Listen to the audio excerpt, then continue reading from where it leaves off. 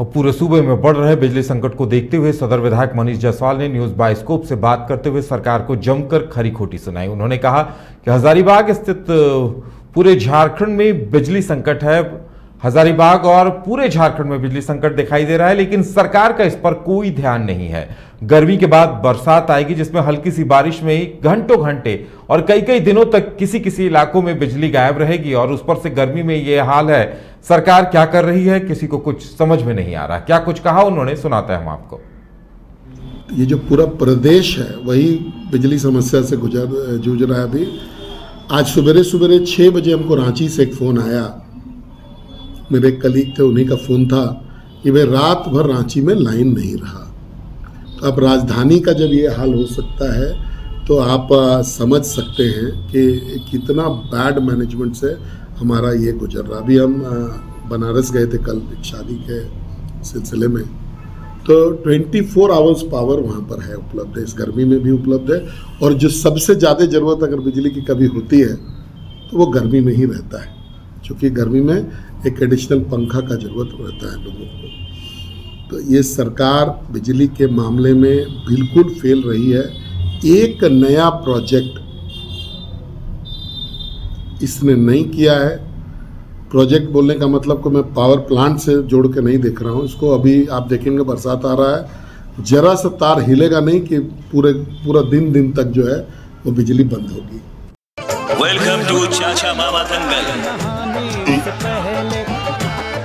हास्य अदाकार संजय मिश्रा से गुजारिश है कि वह अखाड़े में कूदे और फुलटूस को ट्रॉफी से नवाजे। लगता है समाधि ले ली।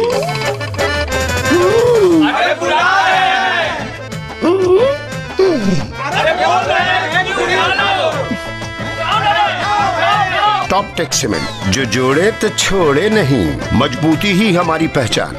और पूरे सूबे में बढ़ रहे बिजली संकट को देखते हुए सदर विधायक मनीष जायसवाल ने न्यूज़ बाइस्कोप से बात करते हुए सरकार को जमकर खरी खोटी सुनाई। उन्होंने कहा कि हजारीबाग स्थित पूरे झारखंड में बिजली संकट है हजारीबाग और पूरे झारखंड में बिजली संकट दिखाई दे रहा है, लेकिन सरकार का इस पर कोई ध्यान नहीं है।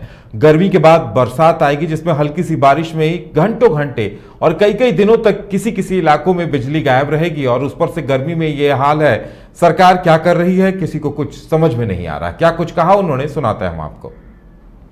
ये जो पूरा प्रदेश है, वही बिजली समस्या से गुजर, जूझ रहा है अभी। आज सवेरे सवेरे छः बजे हमको रांची से एक फ़ोन आया। मेरे कलीग थे, उन्हीं का फ़ोन था। कि भाई रात भर रांची में लाइन नहीं रहा। तो अब राजधानी का जब ये हाल हो सकता है तो आप समझ सकते हैं कि कितना बैड मैनेजमेंट से हमारा ये गुजर रहा। अभी हम बनारस गए थे कल एक शादी के सिलसिले में। तो 24 फोर आवर्स पावर वहाँ पर है, उपलब्ध है। इस गर्मी में भी उपलब्ध है। और जो सबसे ज़्यादा ज़रूरत अगर बिजली की कभी होती है तो वो गर्मी में ही रहता है। क्योंकि गर्मी में एक एडिशनल पंखा का ज़रूरत रहता है लोगों को। तो ये सरकार बिजली के मामले में बिल्कुल फेल रही है। एक नया प्रोजेक्ट इसने नहीं किया है। प्रोजेक्ट बोलने का मतलब को मैं पावर प्लांट से जोड़ के नहीं देख रहा हूँ। इसको अभी आप देखेंगे, बरसात आ रहा है। जरा सा तार हिलेगा नहीं कि पूरे, पूरा दिन दिन तक जो है वो बिजली बंद होगी।